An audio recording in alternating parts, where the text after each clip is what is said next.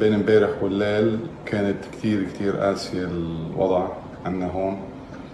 آه، عدد الأموات بس بيوم وليلة تجاوز ال 500 وعدد المصابين جداد بيوم واحد كمان تجاوز ال 4000 هلأ صرنا تقريبا تقريبا شي 36 ألف مصاب و3000 بين الأموات.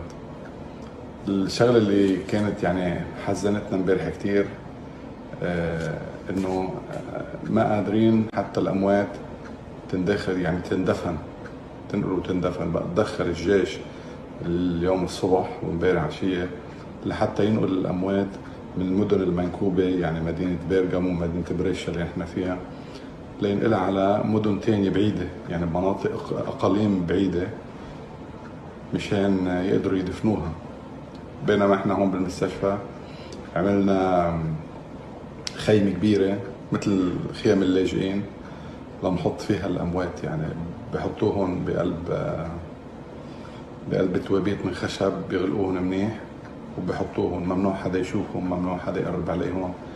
يعني شغلة صراحة عجيبة غريبة. ما ما شايف. يمكن بالتاريخ صاير في, في هيك بس التاريخ المعاصر يعني صعب واحد يتوقع إنه يصير هيك. نحن هلا بنتوقع من هون للأحد آه توصل للذروه يعني توصل للماكسيموم بين الأموات والمصابين.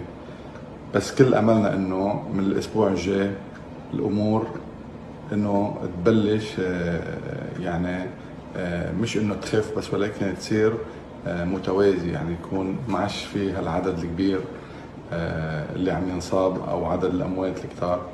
وهيدا رح يساعدنا لحتى نفهم كيف الكورونا فيروس لوين بده يوصل يعني.